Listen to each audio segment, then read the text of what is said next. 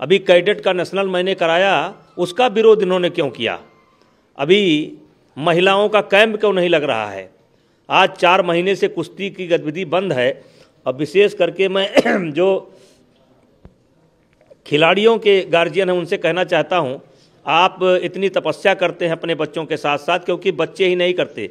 बच्चों के साथ माँ बाप भी तपस्या करते हैं, अपने ज़रूरतों में कटौती करके अपने बच्चे को घी का इंतज़ाम करते हैं, बादाम का इंतज़ाम करते हैं और उनकी रात दिन सेवा करते हैं। जब खेल नहीं होगा तो बच्चे क्या करेंगे? तो ये आंदोलनकारी जो बैठे हैं, इनसे पूछो कि नेशनल कौन कराएगा? अब तक जो है, जूनियर का नेशनल हो जाना चाहिए था अंडर 15 का नेशनल हो जाना चाहिए था 23 का नेशनल हो जाना चाहिए था। ये चार महीने से खेल बंद है और जब मैं किसी तरीके से कराता हूँ तो उसका विरोध करते हैं।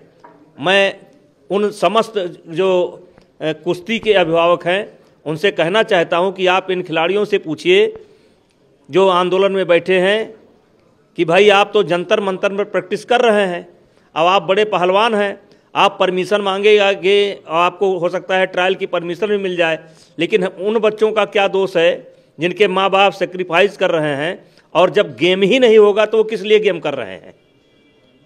इनका तो जो होना था हो गया। ये खेल क्यों रोकना चाहते हैं?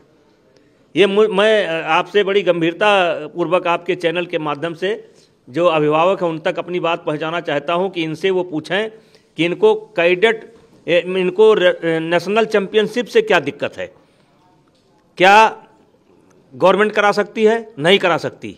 क्या ये करा सकते हैं? नहीं करा सकती। आज के तारीख में खेल की गतिविधि अगर कोई करा सकता है, नेशनल चैंपियनशिप अगर कोई करा सकता है, ओपन नेशनल करा सकता है, ट्वेंटी थ्री करा सकता है तो केवल फेडरेशन करा सकती है। और फेडरेशन भंग नहीं है। फेडरेशन अभी हमारी भंग नहीं है। फेडरेशन हमारी तब भंग होगी जब हमारा चुनाव हो जाएगा, अगला कार्य आदमी आकर के ये कार्यभार संभाल लेगा तब फेडरेशन का काम काम समाप्त होगा। तो ऐसी स्थिति में खेल को क्या किया जाए? आज चार महीने से सारी गतिविधि बंद है।